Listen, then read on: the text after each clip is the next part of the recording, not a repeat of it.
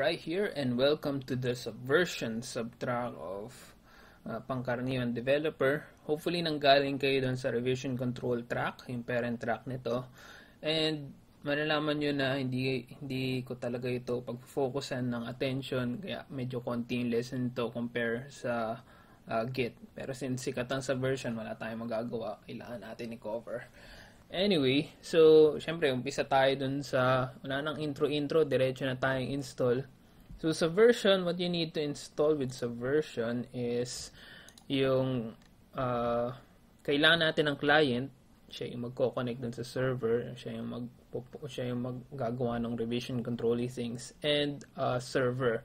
So sa client, di na gagamitin itong Slick Subversion. Ang gagamitin natin is a graphical client. Uh, if you've come from the other lessons, you might know na hindi ko talaga uh, well, hindi ko talaga pinopromote gumamit kaagad ng graphical client and you're right, di nga tayo gagawin ng graphical client. Uh, fortunately, Startoy's version uh, comes with the command line client. So, umpisa tayo sa command line and uh, well, tawag mo rito, doon na tayo, later na lang tayo magpo-proceed with sa uh, graphical. So, install lang natin siya. Note, yan, sama natin yung command line client tools para para masaya. And, install natin. Might take some time. Yung server na gagamitin natin is Visual SVN. Note na yung Tortoise SVN at Visual SVN, yan yung ginamit natin sa uh, mga past lessons na nagde-demo tayo ng subversion, especially yung intro lesson natin. So, yan, Visual SVN. It's a graphical na server para hindi na tayo problema. Mahirap kasi yung command line ng ano eh. So, yan. We're not going to cover yung Linux unlike sa sa Git part pero well, uh, baka later lang I might change my mind. I might add some uh, uh, simple lesson na gagamit tayo ng Linux. Anyway, so na-install na yung Tortoise SVN since wala pang 2 minutes and 30 seconds. So, we're just going to proceed with the quick start rate subversion. Dito na naman yung Red Bean book na minention ko uh, a bunch of times in the past lessons.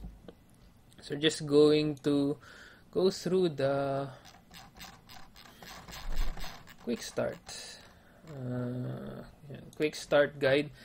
Uh, ang gawin lang natin for next 7 minutes is we're going to create a repo, uh, check out that, uh, create a repo, put some stuff in it, check it out, and perform a change, then commit that change. Bawa tignan natin sa uh, sa Tortoise SVN or we, uh, hindi, tignan natin sa Tortoise SVN na tama nga na commit nga natin yung changes.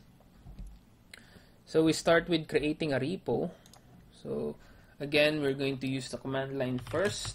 Uh, kung hindi pa nyo, hindi pa kayo nadaanan yung command line crash course, well, daanan nyo muna yung command line crash course. Para sa mga early viewers, wala pa tayong command line cra- crash course. So, uh, well, hintayin nyo na lang yun.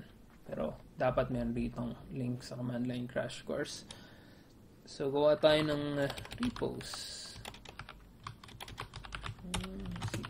Repos.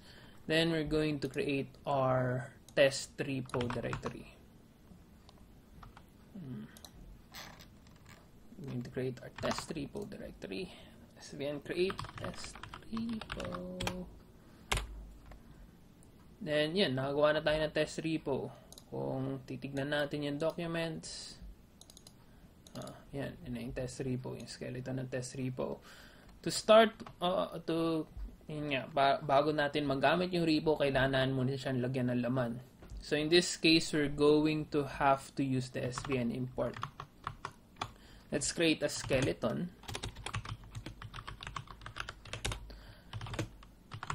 So sa skeleton na to, kailangan natin ilagay yung mga folders at file. Eh, yun, initial na folders na kailangan sa version which is yung trunk where we're going to work uh, most of the time. Branches, para sa mga branches and tags. So, meron tayong tatlong folder. Yan yung uh, base uh, structure ng ating uh, well, typical na subversion project. And lagdagan lang natin ng isang maliit na file.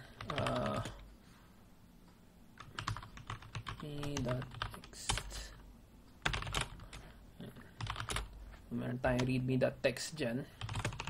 Walang laman. And we're going to do the SVN import. So SVN import import skeleton then tong URL na version ng local file system natin. Kung gaya kayo sa akin na tinatamad mag mag-convert niyan, so we're just going to uh, you could copy paste it dun sa isang browser then automatically niya i-add yung gagawin convert to uh, yan to uh, URL then a message. Let's import. Ayan meron na tayong isang revision 1 so meron na tayong server. Uh, we're going to proceed to check it out. Kukunin natin yung uh, project from the server para meron tayong local working copy. So it's just simply svn checkout. Then yung URL, note na dito, chineck out lang niya yung trunk which is most of the time yun yung gagawin nyo. Then, uh, uh, folder name. So, svn checkout uh, test repo trunk. Then, anong folder? So, test project. So yan, na-check out na natin. If you're going to look at that folder, meron siyang .svn folder. Pag tinignan niyo yung mga folder na mga subversion, you could verify that that's a subversion folder when it has a hidden directory in subversion. So yan, meron tayong uh, yan, readme.txt. Gawin natin, gawa tayo ng isang local change And, nagka na ng hello world. Okay. Yan natin ng isang change. Then, we're going to commit it dun sa ating repository. So, tayo sa test project. So, natin, there, and status. Pag na yung SVN status, you might notice that it's already modified. So, to just commit it, tignan nyo lang yung uh, basic usage pero uh, to spare you the details it's just svn commit. Then yung message. Always always add a message dun sa uh, dun sa commit nyo. Uh, kasi napaka-importante yan. Later ko lang explain kung bakit importante. Anyway so add hello world So, yun, nakomit na niya. You could verify this by checking out a copy of that project. So, i-recheck out natin siya. So, svn check out copy. Makikita nyo dun sa copy nyo, meron na tayo yung kinuha niya yung revision 2. So, in that case, ibig sabihin, uh, na copy niya. So, we could do some other stuff. Uh, this project, and gawa tayo ng another file at text. We so svn commit and the svn add another file.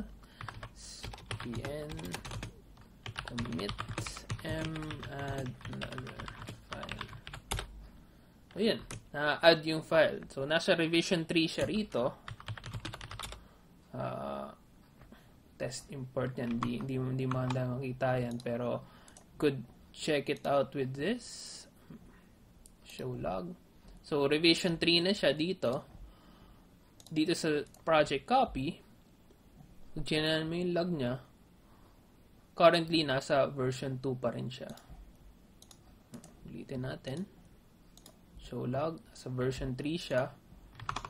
Pero, yan Then, gusto nyo i-realign yung copy, well, just SVN update. So, that's that for the basic sa installation ng client and yung basic usage ng subversion. Next up, server installation.